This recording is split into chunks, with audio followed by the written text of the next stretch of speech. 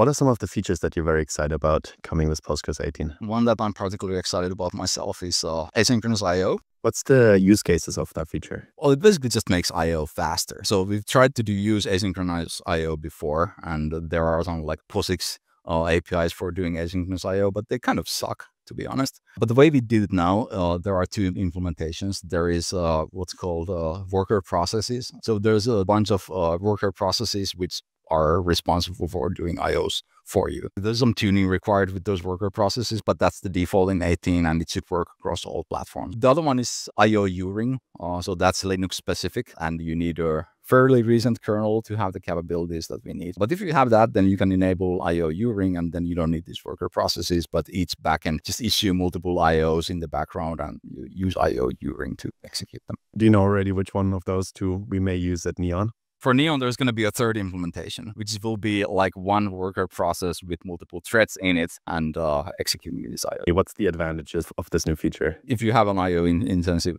application, you should just automatically get better performance with this is the SSDs can execute a lot of like huge numbers of IOPS in parallel. So anything that can take advantage of that and asynchronous IO kind of allows you to do that. Similar story with network storage, like network devices, remote storage can typically do a lot of IOs in parallel, even though the, the latency is quite high. So applications which are using some kind of remote uh, storage will benefit the most.